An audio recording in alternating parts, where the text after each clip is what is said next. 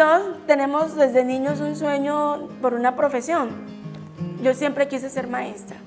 Cuando hicieron la exploración me dijeron que no, que no tenía como las capacidades, que, que mi tono de voz no servía, porque mi, pues mi hermana gemela y yo nacimos con paladar hendido.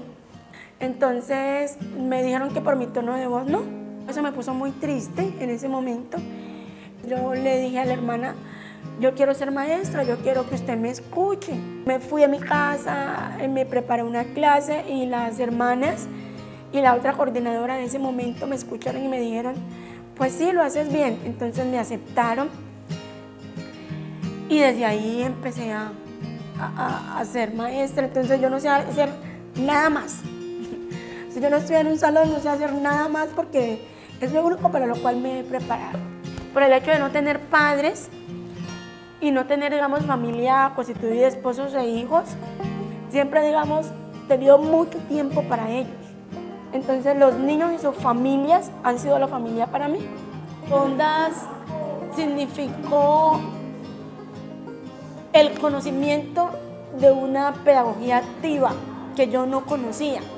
Eso me lleva al premio compartir porque lo que yo hago, lo que yo llevo a compartir es un híbrido entre lo que me ruta metodológica que Ondas tiene y lo que ofrecen los estándares.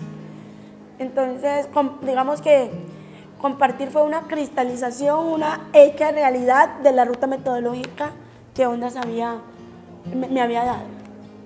Yo pienso que mi trabajo es relevante en la medida en que cada que los niños pasan por esa puerta, yo les doy lo mejor de mí y les digo, para ustedes hay un, hay un sueño que cumplir y hay un futuro.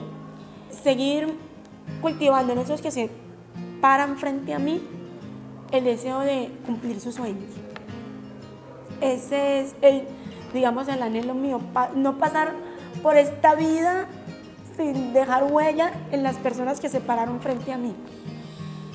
Que los niños, cuando yo esté muy viejita y me encuentren mis egresados y las personas que algún día fueron mis alumnos, decir, en esos niños que hoy en día tienen cualquier oficio, dejé una semilla de amor por querer vivir y por querer vivir cada día mejor desde el trabajo y desde la honestidad.